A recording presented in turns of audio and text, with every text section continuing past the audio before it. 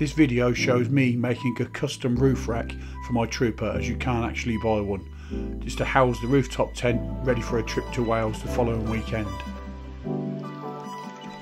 It has been shot over a, a week or a few days, but it does make sense in the end, so please stick with it.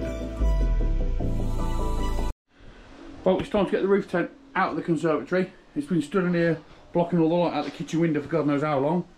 So get it out, put it on the patio, open it up and have a look. Well, my little brother's just been up and given me a lift out the conservatory with it. Check her out. She's popped up lovely. I've had it for about three weeks, first time I've ever opened it. But she's lovely. Well, I think she is anyway.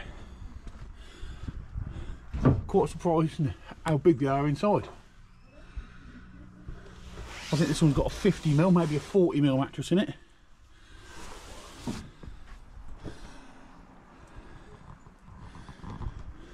But yeah, she's a beauty. Well, job today then is get it on the truck. I've already started taking the roof rails off, the old roof rails, because we've got to make some new ones to hold this. But we'll see what we can get done. But yeah, first impressions, I'm chuffed with that as you can see you've got to take these two off and then build something better and bigger to put your roof tent on. So first thing you've got to go along here and undo these little clips. So you need to find the clips pop a screwdriver in and then you can peel them off. I made these ages ago just for me uh, for me kayak to go on and also my awning. So I'm gonna have to remake something. I have to move the CB aerial as well. But hopefully it'll be worth it so I'll get busy, I'll pop these off because I can't really do it one-handed. And I'll bring you back in a bit. Right, while I'm out here, all I'm having is top of the troop is bowed, front to back, and then the roof has got a bow in it as well. So I want to keep it as low as I can because I don't want it blinking right up in the air. You see some lads with roof tents and they need a blinking barrier or uh, an escort to get under barriers and bridges. I don't want that, I want it as low as I can. So I think by the time I've got that mounted up and welded up, put the trim back on the roof, and then I can make sure that these bars are going to go across and meet with it. That's just my old roof bar, I've cut the ends off them and I'm just using that as a level at the minute, or a straight edge across the roof. But I think with what I've got and the time frame I'm under, I want to be in this roof tent next Saturday. So I think I'll bring the welder at the front, tack that on there, and then we can have a better look at it but I think that's going to be the go. So yeah we'll run with that for now. Well that's the first bit on. I think I'm happy with that. Problem I'm having like I said before is the roof's curved both ways and obviously this needs to be flat to mount a rooftop tent and I don't want to mount it and leave it on forever. I want to be able to take it on and off quickly and easily on my own so I ain't got to drive around with it on all the time because I won't be going camping all the time. I do a lot of day trips and stuff. And I don't want to be carrying that around with me. So once the trim's gone back in, that trim will drop back in there and cover that up there, which will be nice. That there, that tube then is going to stay on.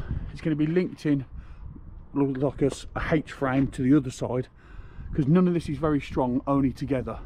So that is good and strong. There's only two bolts in that. There's four to go in it. Obviously, you can rock the whole truck on it but with the wind and the knocks and bumps it needs to be proper strong. So four bolts this side four bolts the other side.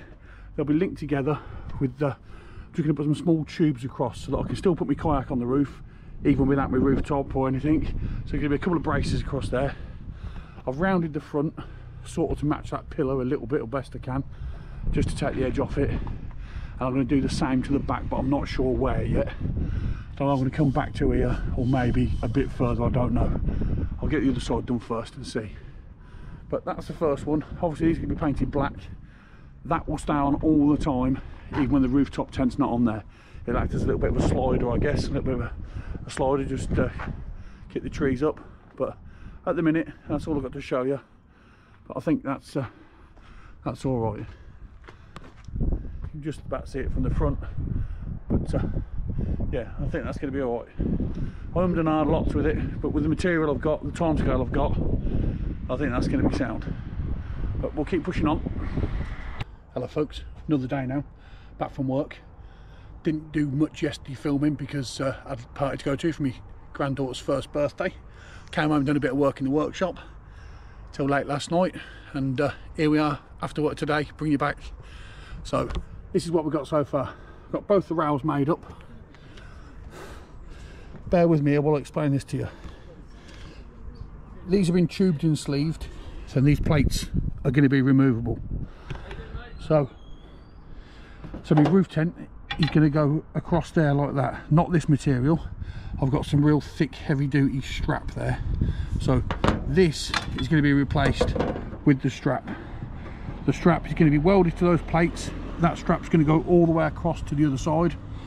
They're different lengths front and back because of the shape of the roof, but it can be welded there like that. It's going to rest on there to make it easy to line up.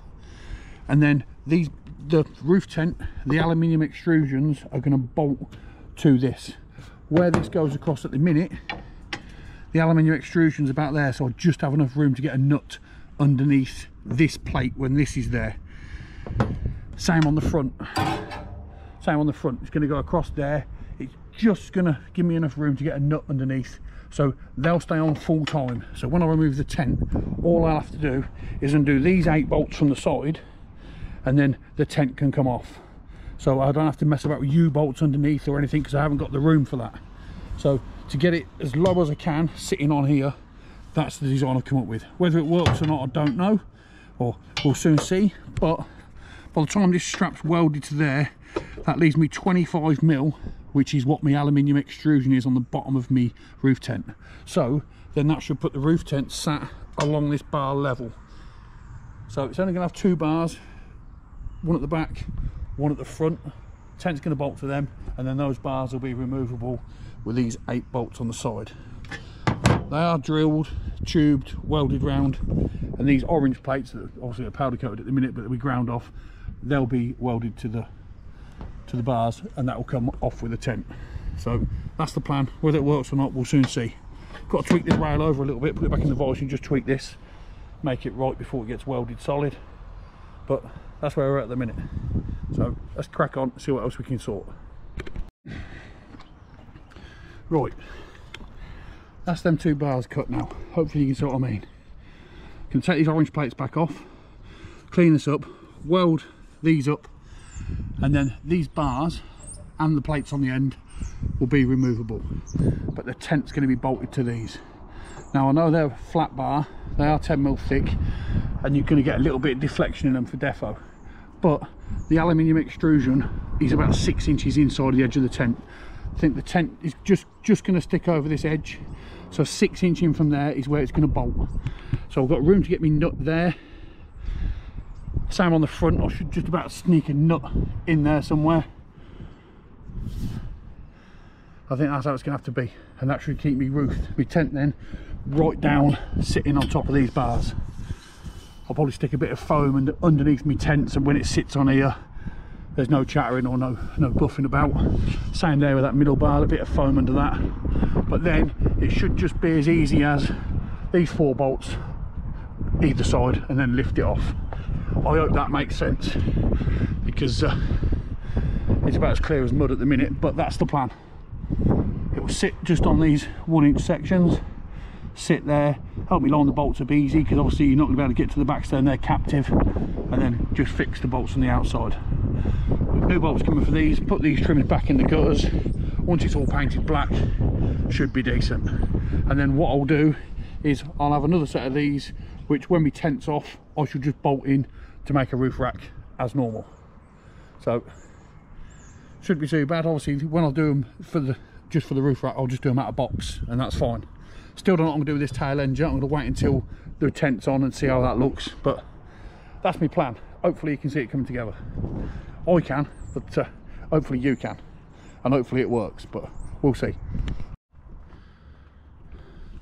Right well we've cleaned it up ready to weld got the welder back out the front. A bit of a damp damp blanket here. Just to try and protect the paint and the glass a little bit. But all cleaned up all ready for welding. So I'm going to put a good tack on them and then I shall drop them off and weld them up proper. But uh, there you go. I'll bring you back in a sec. Right then we're back. I've took tacked them, took them up in the shed and welded them proper. They're all welded up now. That's going to be stronger than any part of the roof tent. So roof tent now should drop onto here. Aluminium extrusions 25 mil. That's going to bolt like that. And then the roof tent, all being well, should sit on here pretty flush. Might have to put a little bit of foam on the bottom of the tent just when it sits on there, don't chafe and rub. But that's it. That's it so far anyway. And for tonight, I'm gonna have to relocate my aerial. But I knew that. Yeah, the bolts are a little bit long, I'll trim them down, we've got some smaller ones. But that's the base now. Hopefully tomorrow night when I get home, I can drop the tent on. But that's for tomorrow hopefully you can see the vision I'm hoping once it goes once it's black it's not going to look too bad on the roof full time but we'll see it's going to do for this weekend anyway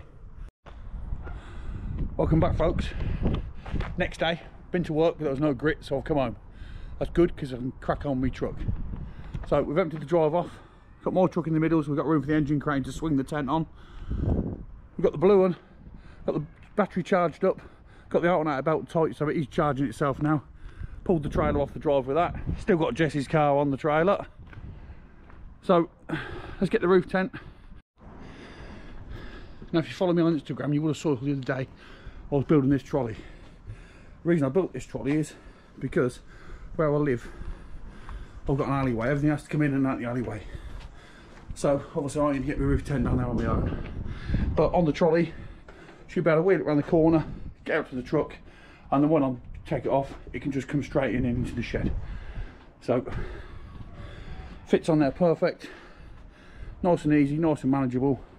I can wheel it straight in and out cost me 12 quid for the casters the rest is just a bit of scrap steel I had lying about but I think it'll work perfect let's get out the front well got the tent out no problem all idea is now it down off that rub block bring the crane out, lift it up and swing it straight on the roof. So hopefully it goes to plan. But trolley worked a dream. Tent's not heavy, but you just ain't going to carry it down there on your own, are you? There's no handles, there's no way of supporting it or carrying it on your own. But there you go, I think that was worth doing.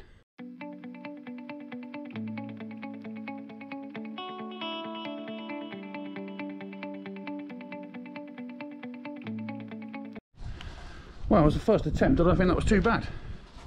Crane swung it up there. I could have done with a little bit of extra height. So I think next time I'll uh, slide it outward and put it in a bit further. So I've got just that little bit of extra height. It's up and on there. Went on just as I planned. Just got to mark it now. Take it back down. Fix it to the roof bars. And then uh, should be able to drop it back on and then work out how we're going to get the awning on the side. So chuffed with how it fits. It's gone on just as I wanted it to, or just as I hoped it would. I had a bit of a plan in my head, but it was only in my head. Might end up putting something across the front here just to to fill that gap, but we'll see. We'll see. We'll get it to, get it attached to the bars first, and then uh, that'll be that. But I think that's about where it wants to sit. It's not quite at the end of the spoiler, but the catches are. So that's probably about as far as it wants to go back. And I've just got I don't even think it's uh, no you can't see it through the windscreen so it's uh, it's just far enough back that it's not in, not seeing it through the windscreen I think that'll be spot on I think that's where it's got to live. So I'll get it bolted down or get it marked up and then bolted down and we'll swing it back on and have a look at this awning. Right tent's on. It's all bolted down and that and now I'm trying to get the awning back on. Before the awning bolted to my roof rails. Just two bolts through the top of that bolted to my roof rails. Obviously now my roof rails are gone. So I've just welded those 50 mil bits of box on there. I'm then going to replace those brackets with these little 40 mil box sections. Weld them on there cut them off weld them on there and then it should just slot in there with a bolt through the top. Or well, that's the plan anyway. They're in pretty much the same spot as they were before spacing wise. So that'll just pop into there. Have a thread in the bottom bolt through the top and then the awning will come off just with two bolts. Shouldn't interfere with the roof tent. The awning will be able to go on when the roof tent isn't on and uh, But that's about it. I'll bring you back in a minute. Well, that's my awning back on. I've got to adjust it. This bracket needs to just be 15 mil shorter. So I'll cut that down, make that 15 mil shorter, weld it all up proper, and I'll just make the pins that go through to hold it on. But it fits nice and tight at the back. There's a bit more of a gap at the front, which I want to try and get rid of. I want it as tight fitting as it can. You see there's a bit more gap there. So that needs to come in about 15 mil, I think. Used to sit right over the top of the snorkel before, and that's why I want it again. So we're nearly there.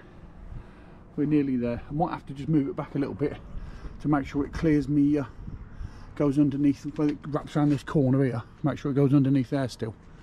But those brackets are adjustable, we can slide it along. As long as it's uh, on there in the right profile, we can slide the tent along, uh, the awning along a little bit because it is on alley tracks. So I'll get that bracket made up proper and then that's a final fitting job. That's uh, we do that down the road, that doesn't matter. This is a little video I took on my phone just when I put it all back together, freshly painted, bolted back on the roof. I'd sort of give up with the GoPro here because it, time sensitive and I was getting close to the deadline. So camera went out the window and I just got busy with it. But there it is, bolted up, finished off on the truck. Ready for Wales. Well, the eagle-eyed among you will see that we're not at home. Come out today for a drive with Nicola. Just got back from uh, Wales yesterday. Put the tent away a bit wet, so we come up to our little local bit here, Avon Hills. We're going to just air the tent out, have a little bit of a walk around, and then pack the tent back up. But it'll just conclude the tent video nicely. So here we go. Tent's on the truck. Spent the night in it in Wales last last night. Sorry, the night before. All packed up. It was absolutely perfect. But now we're going to show you how easy it is to put up and take down. Not going to bother with the awning because obviously you've seen an awning before. You've seen a tent before, but you might be interested to see how it fits on my truck. So here we go. Right, let's get it up then. Yeah, darling, you're on the camera now. Excellent. To be fair, I don't actually need the ladder to put it up, but I'll show how easy it is.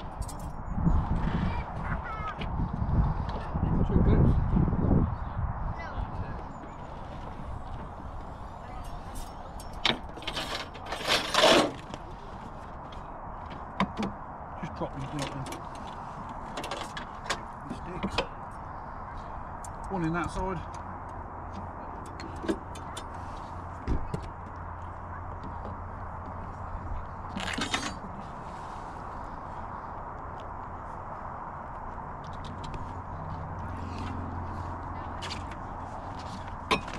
I'm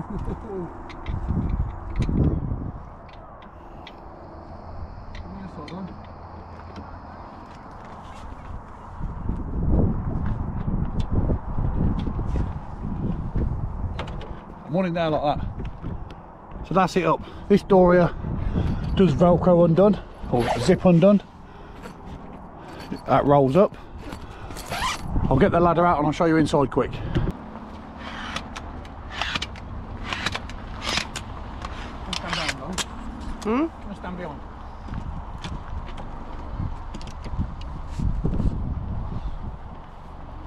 Obviously the ladder goes all three sides, but when I got my awning up, this is the side we uh, we use. Did put some LED, LED lights in here, I'm not sure if I've shown you them, but I'll show you again in a sec. Can open these doors up, just let it air out a little bit and I'll bring you back. But these are the lights I put in, a couple of LED strips either side. I think they're about seven quid. Just plug into my DeWalt battery there on the USB, drop that in there, and you have this little remote control. There you go. Right, so uh, you got this little remote control. They don't look very bright on the camera, but you got different colours. We've got blues, reds, greens, orange. And so they're not don't look that bright now, but over night time they are super bright and they brighten it, they lighten it right up. So I'm gonna leave it like that for now. We're gonna go and have a bit of a walk and a wander, just let this air out, and then we'll come back. Well, that's it. He's had a good airing out. I'm just gonna pack it away now. I'm gonna roll the, the blind down at the back first, pull the stays out, and then show you how easy it is to shut up.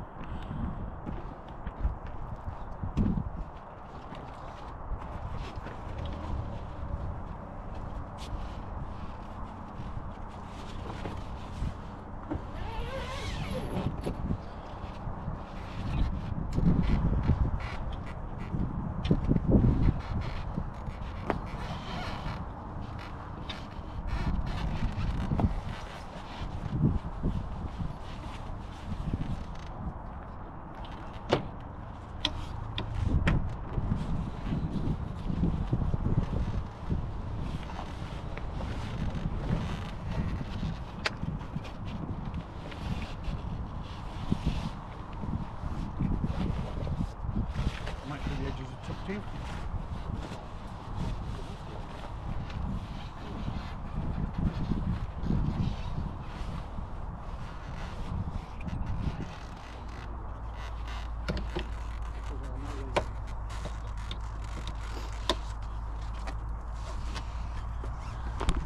And that's it, just pack the ladder up. She's good to go. Perfect. Thanks very much for watching. See you next time. Cheers.